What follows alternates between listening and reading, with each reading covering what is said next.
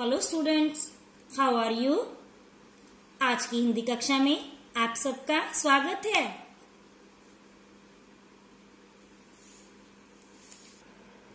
तो सभी बच्चे अपनी हिंदी भाषा माधुरी भाग दो की पुस्तक का पेज नंबर छ का लेसन नंबर वन खोल लीजिए।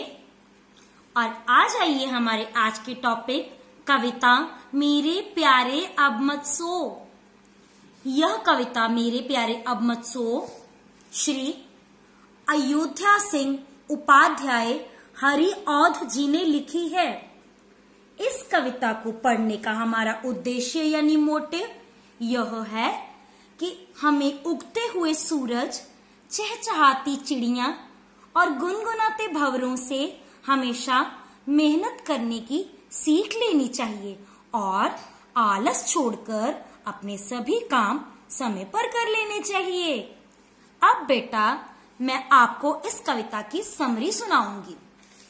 इस कविता में अयोध्या सिंह उपाध्याय ने दिखाया है कि माँ अपने बच्चे को, अपने बेटे को कह रही है कि, लाल, मेरे बेटे, सुबह हो गई है, इसलिए अपनी आँखें खोल लो और पानी से अपना मुँह धो लो, क्योंकि रात बीत चुकी है और पौधों पर कमल दल यानी कि कमल की पंखुड़ियाँ खिल गई हैं और उन कमल की पंखुड़ियों के ऊपर भौरे झूल रहे हैं, घूम रहे हैं। जो चिड़िया हैं, वो पेड़ों पर चहचहा रही हैं, गुनगुना रही हैं और बहुत ही ठंडी और सुंदर हवा बहने लगी है, यानी कि चलने लगी है। आकाश में एक न्यारी सी लालिमा छा गई है और इन सबसे धरती बहुत प्यारी लग रही है।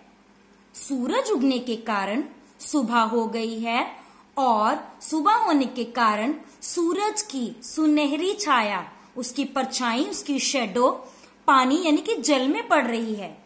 तो माँ अपने बेटे को कह रही है कि, मेरे बेटे, मेरे लाल, ऐसा सुंदर समय गवाओ मत, बर्बाद मत करो और आलस को खत्म करके, आलस को छोड़कर अपने सभी काम समय पर कर लो।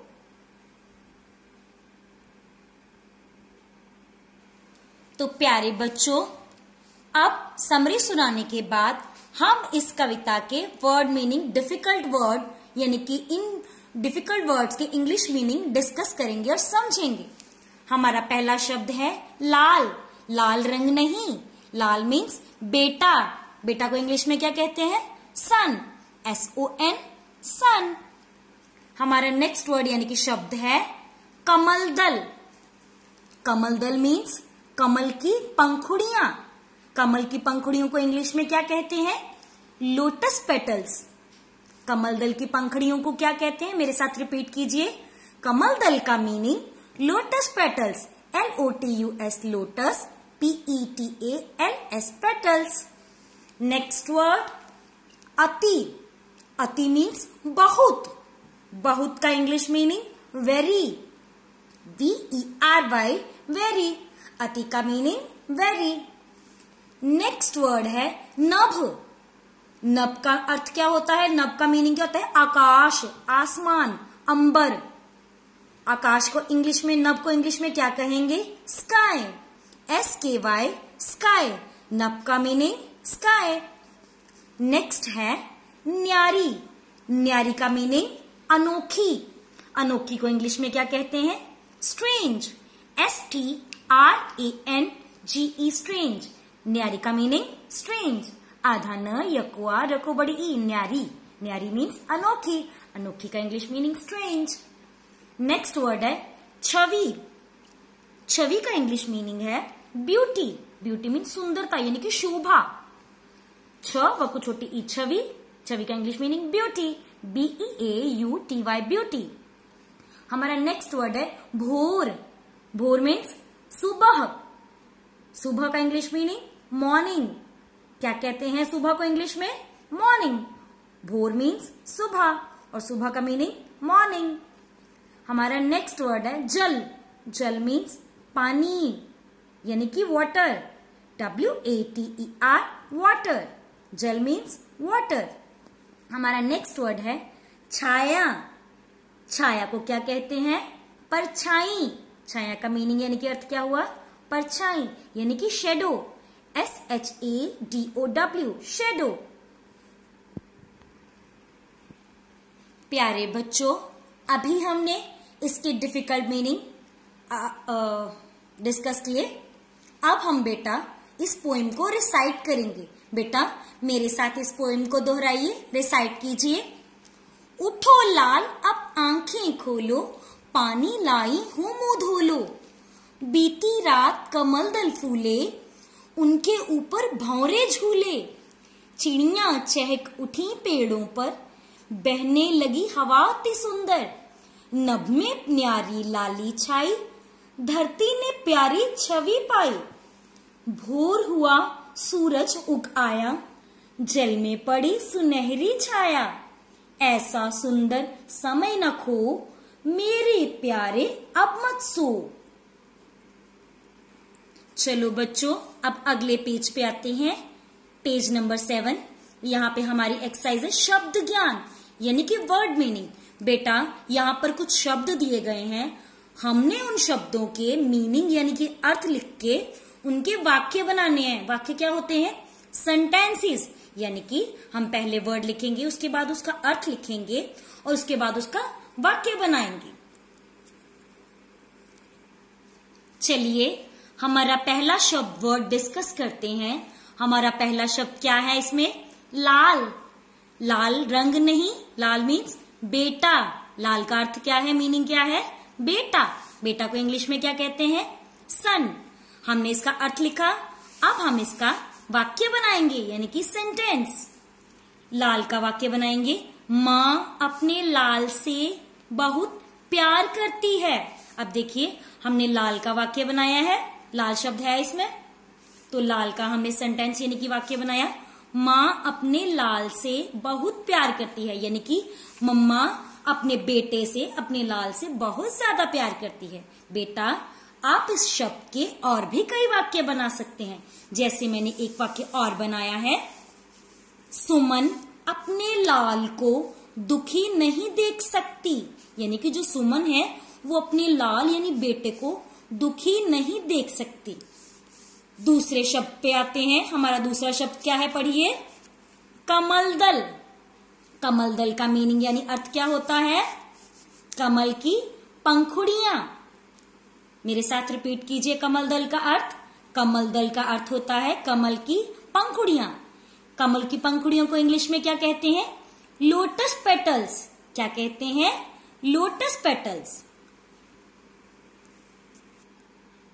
कमल दल का वाक्य बनाएँगे, यानी कि सेंटेंस बनाएँगे। तालाब में कमल दल खिले हैं, यानी कि तालाब, यानी कि पौंड में कमल की पंखुड़ियाँ खिली हुई हैं। एक और वाक्य बनाएँगे।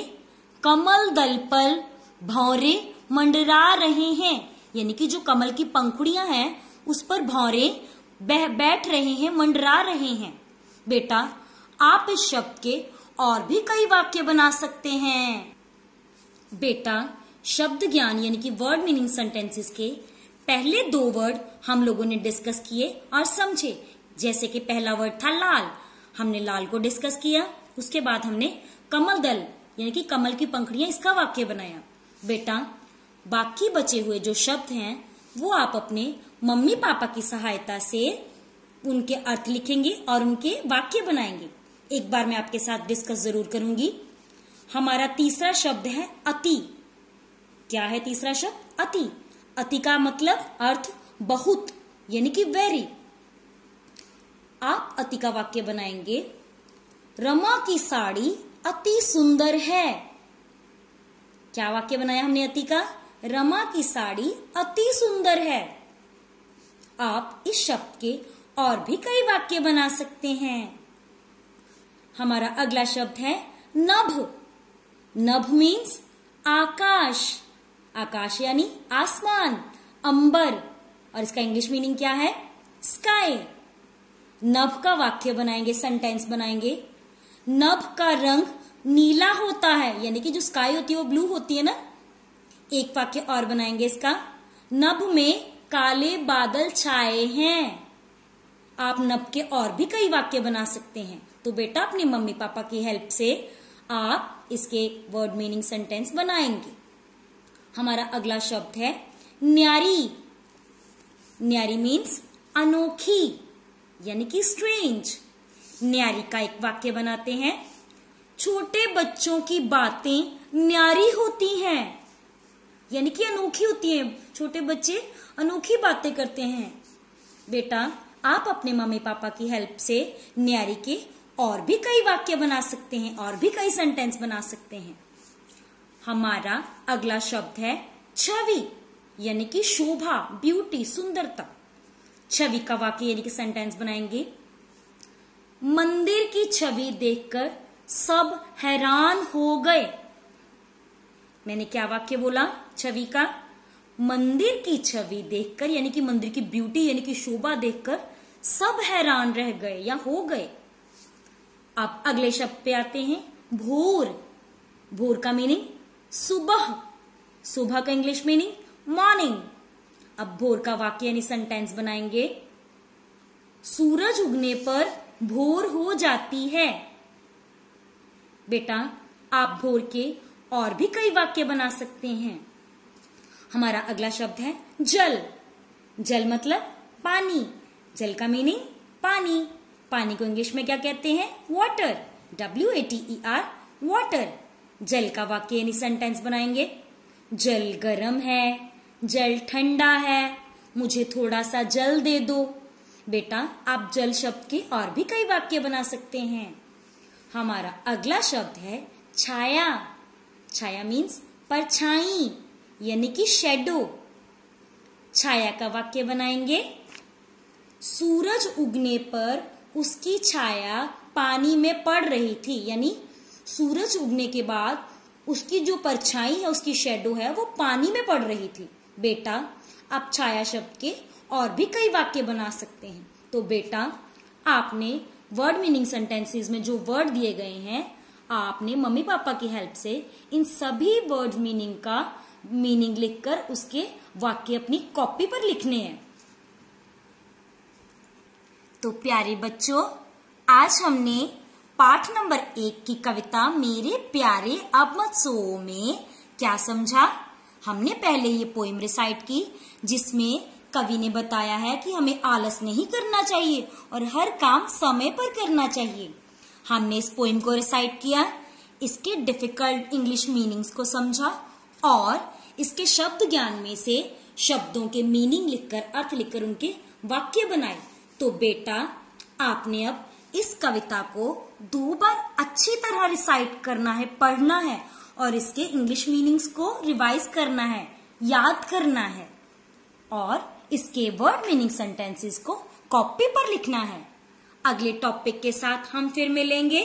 तब तक के लिए गुड बाय